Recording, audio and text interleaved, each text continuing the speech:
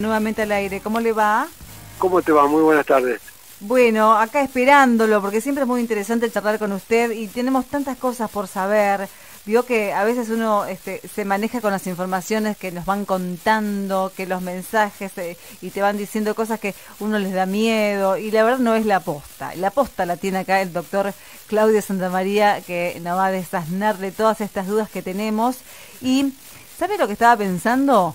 Sobre este el plasma. Se habló mucho de, del plasma, del uso del plasma en pacientes con COVID eh, durante toda la pandemia, principalmente cuando fue eh, la época más dura nuestra, acá en nuestro país.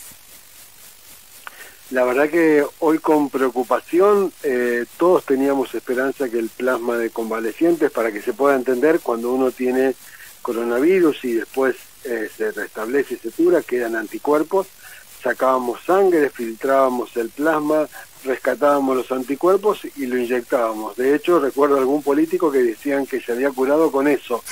Hoy la Organización Mundial de la Salud sale a decir que no está comprobado científicamente, lamentablemente, que el plasma de convalecientes sirva para tratar formas graves, que está contraindicado usarlo, salvo en casos experimentales para en pruebas se llaman aleatorias, para seguir probando, pero que hasta ahora la evidencia científica de algo que parecía muy esperanzador eh, y que de hecho hemos recomendado que la gente donara plasma afuera, no, no tiene implicancias, no reduce la mortalidad, no quita el tiempo en el uso del respirador, que es la complicación respiratoria más frecuente del coronavirus, donde los pacientes entran en gravedad, y que no tiene indicación para ser aplicada acaba de ser publicado hoy científicamente y la verdad que nos sorprendió porque en un principio teníamos grandes esperanzas y parecía con los primeros estudios, por eso hay que esperar que la ciencia avance, eh, hoy está desechado y desaconsejado su uso, salvo en algún protocolo de experimentación. La verdad que esa es una novedad y una noticia que nos sorprendió a todos lo que hoy leímos este comunicado de la Organización Mundial de la Salud. Y sabe, doctor, que estaba viendo eh, esta noticia de los tres leopardos de, las nieves de un zoológico que murieron. El, el, la verdad que sí, en el, en el zoológico de Nebraska había tres leopardos de las nieves, que vendrían a ser como unos tigres blancos, en realidad eran leopardos, eh, se contagiaron de coronavirus en ese mismo zoológico. Dos tigres también se contagiaron. Recordemos que el coronavirus puede pasar de las personas a los felinos también a los perros, pero no está comprobado al revés, que puedan pasar de los animales a las personas. Sí que los cuidadores o el público pueda contagiar. El zoológico dice que los cuidadores han usado barbijo en el protocolo para alimentarlos, pero lamentablemente hoy comunicó el zoológico de Nebraska que eran estos animales que eran muy queridos porque eran una de las atracciones, eh, han fallecido los tres hace más de un mes que tenían coronavirus y también informó hoy, eh, que eso no salió en las noticias, que dos tigres que también estaban contagiados han mejorado y, han salido del, digamos, de la enfermedad grave. Eh, la verdad que sorprende, ya habíamos conocido otros casos, pero estos que eran como las mascotas estrellas de este zoológico de Nebraska, eh, fallecieron, como bien contás vos, tres leopardos de las nieves que son animales que están en, extinción, lamentablemente porque se contagiaron coronavirus. Eh, es raro, ¿no? Porque se, se habló mucho del tema de, los animales, no sé si será es lo mismo que le pasa a nuestras mascotas, que decían los perros no se contagian, los gatos no se contagian. Este, hoy, hoy lo que sabemos es que las personas pueden contagiar a sus mascotas, sobre todo a los felinos, que es donde ha habido más casos. También leí en estos días algo que es poco común, se ha contagiado un hipopótamo, ah, eh, que, es más, eh, digamos, más raro, más raro pero han comprobado que tiene coronavirus.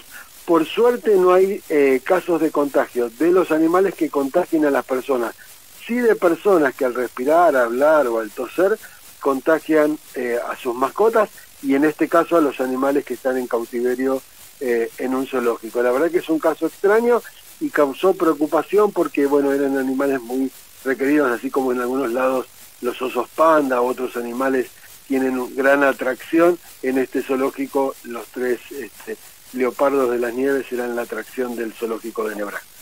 Bueno, hay mucha información que, seguramente usted nos puede contar, mucha información en, en sus redes también, doctor. En, en Twitter hemos visto también que, que ha publicado algo este, sobre la interrupción de servicios de salud, eh, bueno, que, que, hubo por la pandemia y la cantidad de muertos, ¿no? Que causó.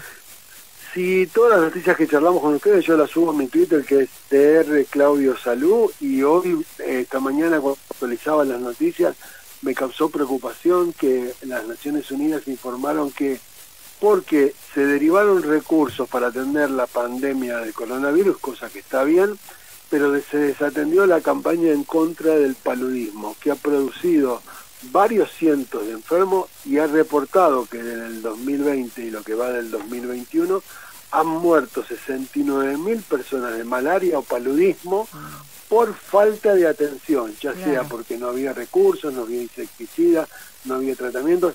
A veces el, tratamiento para gente que no tiene recursos es poner un tul para que los mosquitos no piquen a las personas y de esa manera el, el plasmodio, que es el bichito que transmite el paludismo, la malaria, no infecta a la gente, que es una enfermedad muy frecuente de África o de países tropicales que genera preocupación y se han desatendido.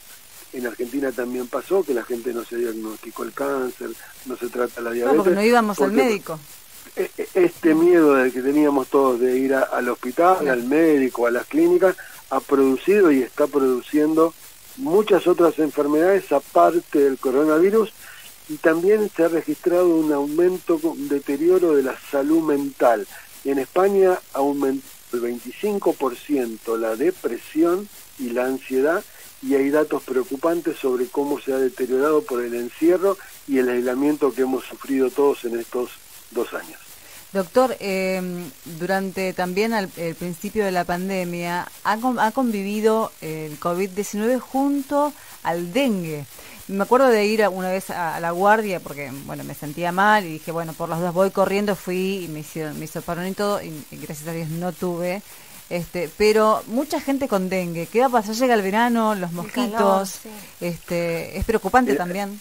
La, la, verdad que sí, en Argentina están circulando varios tipos, hay cuatro virus del dengue y la verdad que ahora está muy bien en que recuerdes eso porque a veces la urgencia de hablar del coronavirus, del Omicron y los demás nos hacen olvidar que es importante descacharrar, o sea, eliminar todos los recipientes donde pueda haber agua, los que vivimos en capital o en el conurbano, de, de La Pampa hacia el norte, cualquier provincia hay dengue, no hay dengue en la, en la Patagonia por, el tema de que la temperatura hace que los mosquitos no, no puedan sobrevivir, pero digamos gran parte de la Argentina y ha habido brotes y siempre que llegan estas temperaturas, la humedad con las lluvias, hay que tener cuidado. Eh, tres cosas importantes para hacer con la prevención del dengue. Pongan mosquiteros en puertas y ventanas en las casas, tapen los tanques de agua, hagan revisar eso porque a veces se vuelan y el agua tiene que estar clorada y eliminen toda la basura o cacharros alrededor para que no haya criaderos de mosquitos. Esa es la mejor prevención porque como bien decís vos, los síntomas muchas veces son se confunden porque son los mismos, fiebre, dolor articular y a veces confunden si tenemos coronavirus o podemos tener dengue eh, y en la Argentina ha habido y esperemos que este año haya poco en el verano, pero siempre suben los casos está muy bien que hayas recordado esta patología endémica de la Argentina. Bien, ahora, bueno, una última pregunta que la mona este, te quiere preguntar algo, Doc. Doc, de camino hacia las fiestas y hacia las vacaciones, ¿la gente eh, le consulta sobre los cuidados a tomar tanto con el dengue, que lo recordaba bien Anita, como con el COVID, como el sol también, que ahora está fuerte, o la gente ya siente que se despreocupó un poquito del tema? Mira, se había despreocupado y se habían olvidado, más con los millones de personas que sacaron previaje. Con la aparición de la variante Omicron y el aumento de casos que se dan en las siete últimas semanas, ayer eh, el, el eh, Kisilov dijo que solo en la provincia de Buenos Aires en la última semana aumentaron el 33% de los casos, la gente volvió a consultar sobre qué recomendaciones hacer de cómo armar las fiestas, que hay que armar protocolos, lo podemos desarrollar otro día, y también cómo pasar unas vacaciones para disminuir el riesgo. Me parece que son cosas importantes y el jueves lo podemos eh, charlar y desarrollar ampliamente.